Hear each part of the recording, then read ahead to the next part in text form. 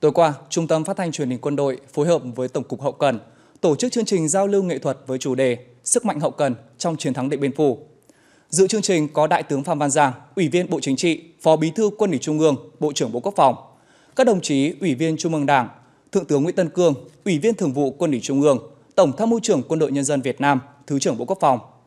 Thượng tướng Vũ Hải Sản, Thứ trưởng Bộ Quốc phòng, lãnh đạo Tổng cục Chính trị, lãnh đạo Bộ Tổng tham mưu, lãnh đạo Ban dân vận Trung ương, lãnh đạo Ban tuyên giáo Trung ương, cùng đại biểu anh hùng lực lượng vũ trang nhân dân, đại biểu là nhân chứng lịch sử từng tham gia chiến dịch Điện Biên Phủ. Chương trình được truyền hình trực tiếp trên kênh truyền hình Quốc phòng Việt Nam và một số kênh truyền hình của các tỉnh, thành phố. Chương trình giao lưu nghệ thuật đã tái hiện công tác đảm bảo hậu cần trong chiến dịch Điện Biên Phủ bằng những phóng sự câu chuyện có tính kết nối từ quá khứ đến hiện tại và cả những câu chuyện kể bằng âm nhạc nghệ thuật được dàn dựng công phu với các hoạt cảnh âm nhạc kể chuyện kết hợp giao lưu với nhân chứng lịch sử, chuyên gia nghiên cứu lịch sử đã tái hiện không khí hào hùng và sâu lắng,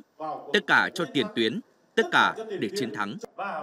Khi thay đổi phương châm từ đánh nhanh, giải quyết nhanh sang đánh chắc, tiến chắc thì mọi hoạt động từ mặt trận đến hậu phương đều có sự thay đổi. Trong đó công tác cung cấp có sự thay đổi lớn, có những nhiệm vụ phải bảo đảm tăng số lượng gấp nhiều lần.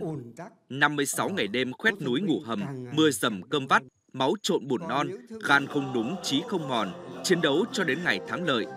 Đã có biết bao chiến sĩ đồng bào ta ngã xuống hoặc để lại một phần thân thể trên mảnh đất Điện Biên.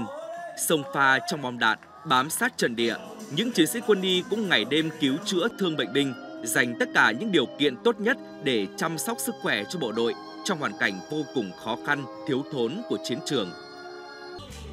Chương trình giao lưu nghệ thuật Sức mạnh hậu cần trong chiến thắng Điện Biên Phủ đã có phần khẳng định sự lãnh đạo sáng suốt tài tình của Đảng về nghệ thuật bảo đảm hậu cần cho chiến dịch Điện Biên Phủ, huy động sức mạnh hậu cần toàn dân cả ở hậu phương và tiền tuyến, chi viện sức người, sức của cho chiến dịch Điện Biên Phủ. Bài học về công tác bảo đảm hậu cần nhân dân đã được kế thừa và phát huy vẫn còn nguyên giá trị trong xây dựng và bảo vệ Tổ quốc hôm nay.